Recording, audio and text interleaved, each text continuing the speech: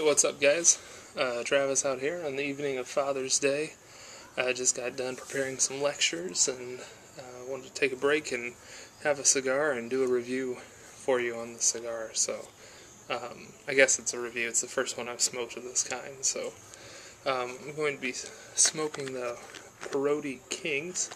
So, do a box opening here. This is also made by the Avanti company uh, that I mentioned in my previous video out of Scranton, Pennsylvania. So I can't remember the size on these. Maybe I'll, I'll look it up and try to put it in the bucket. But looks like each one comes individually wrapped in its own uh, cardboard sleeve and plastic. So see how long it takes me to get this undone.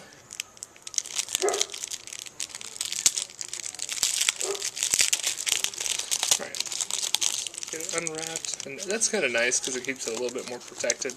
Uh, I mean, these are dry cured cigars, so they're pretty hardy. Um, they don't uh, break up nearly as much as a premium cigar would be, and they can put up with a lot more. So here it is. Uh, it has that same kind of craggy look. If I threw it out in my yard and it, my yard had sticks in it, there's no way you could find it. Uh, I mean, that's what it looks like, just a stick. So looks like it's about probably four and a half inches or so. So get it lit up here with my Jeep lighter.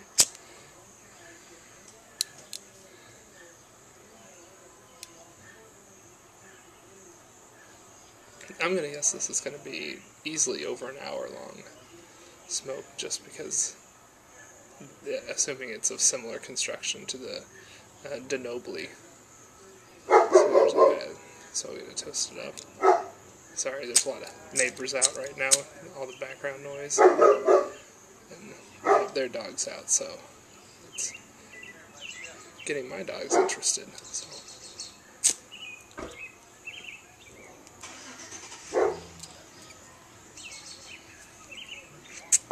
Okay. So, right away,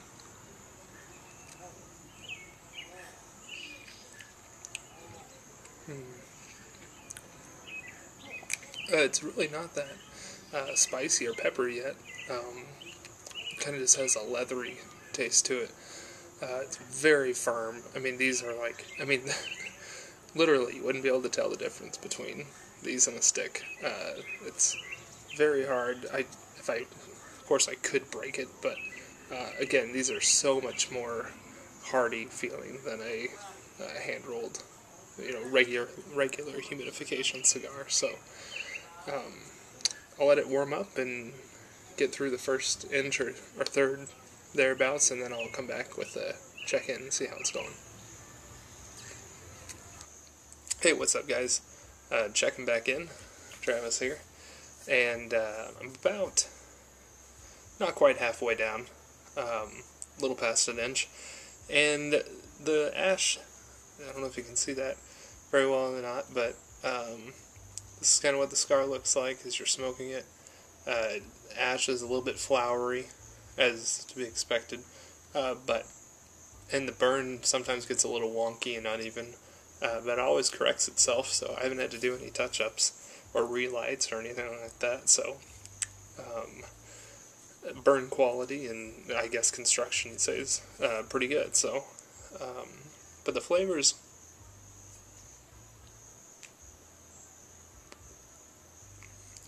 the flavors are relatively um, one dimensional. It's no big transitions or anything that you would expect um, in a, like I said, a premium cigar. It's mostly that leathery.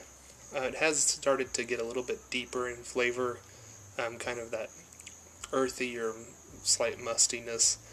Uh, this particular cigar, I don't know if it's with all these Parodi Kings, uh, or not, but this particular cigar doesn't have near as much of that spicy pepper. It's just a little bit of pepper in the back of your throat, um, which is nice. It's not nearly as intense uh, as, for instance, that uh, the DeNoble uh, longs. They're much more uh, spicy smoke. So, um, anyway, uh, I'll keep going, and I'll check back in with you when I'm uh, nearing the end of the smoke. Hey, what's up, give you guys? my final I uh, just wanted to check in um, at very close to the end of the cigar now. Um, and not a whole lot of changes. The uh, uh, kind of the peppery um, feeling in your mouth and kind of towards the back of your mouth and into your throat has increased a little bit in this last um, uh, about third to half of the cigar, which is nice. It's uh, in a good way, um, not at all uncomfortable. Just um, just kind of a nice little tingle. And uh, otherwise, the burn's been very consistent. It's always a little bit uneven. Um, there's uh, obviously some thick feeling um, pieces in the cigar, so that always takes a little bit longer for the burn to catch up. Uh, the ash is always a little bit f- floury, um, but when I set it down in my ashtray, it usually falls off somewhere between uh, three quarters of an inch to an inch. So it's that's been very consistent. Um, the taste has been good. The, the draw, and, and this has been my experience with most of these dry cured cigars, the draw is not effortless, um, but it is not so. Um, it's not so difficult that Hey, it becomes so, a problem. Uh, just wanted to come in with my final thoughts. Uh, sorry, the camera ran out of battery in the middle, and I went on uh, for another uh, minute before I realized the light was off. So I was finishing up talking about the draw of the cigar, and it's uh, like I said, it, it's a little more tight than probably most uh, premium hand rolled cigars, but it's not an uncomfortable or a difficult draw. It's just noticeably a little bit tighter, a little more snug. But the smoke output is still very good, uh, so I wouldn't say there's any problems with that.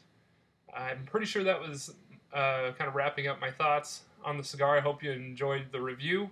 Um, love to hear any comments you have on the review or on uh, dry cured cigars in general. Your thoughts on them if you've uh, smoked any of these. Um, but that's about it. Uh, that was the Parodi's Kings, uh, Parodi Kings, uh, dry cured cigar made by the Avanti company. Um, so I, I hope to do some more of those reviews in the upcoming weeks. So uh, look for more of those, and I'll see you guys next time.